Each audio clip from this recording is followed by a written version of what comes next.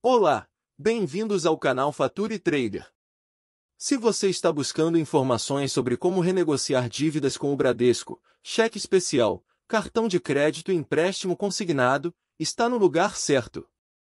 Sabemos que muitas pessoas passam por dificuldades financeiras e acumulam dívidas com bancos e instituições financeiras.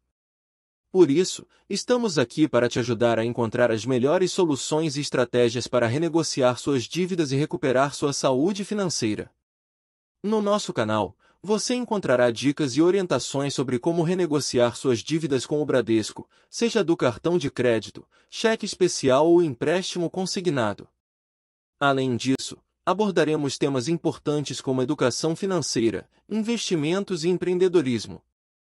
Aqui, você terá acesso a informações atualizadas e confiáveis, com o objetivo de te ajudar a tomar decisões conscientes e responsáveis sobre suas finanças.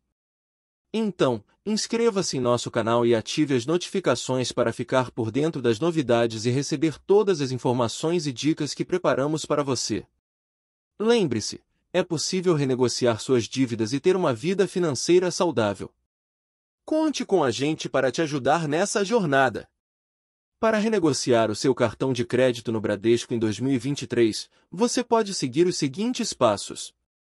Entre em contato com o Banco Bradesco através dos canais de atendimento disponíveis, como telefone, chat online ou aplicativo. Informe que deseja renegociar a dívida do seu cartão de crédito e peça informações sobre as opções disponíveis. O banco provavelmente oferecerá diferentes alternativas de acordo com o seu perfil e a sua situação financeira. Avalie cada uma delas com cuidado antes de tomar uma decisão.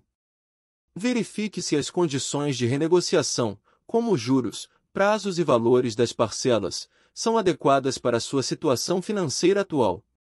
Se estiver de acordo com as condições apresentadas pelo banco, formalize a renegociação por escrito e mantenha uma cópia desse documento.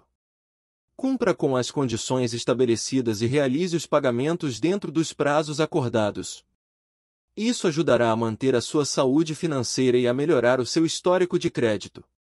Lembre-se de que é importante ter um planejamento financeiro para evitar a acumulação de dívidas futuras. Mantenha o controle dos seus gastos e priorize o pagamento das suas dívidas antes de fazer novas compras com o cartão de crédito. Gostou da dica? Compartilhe com os amigos.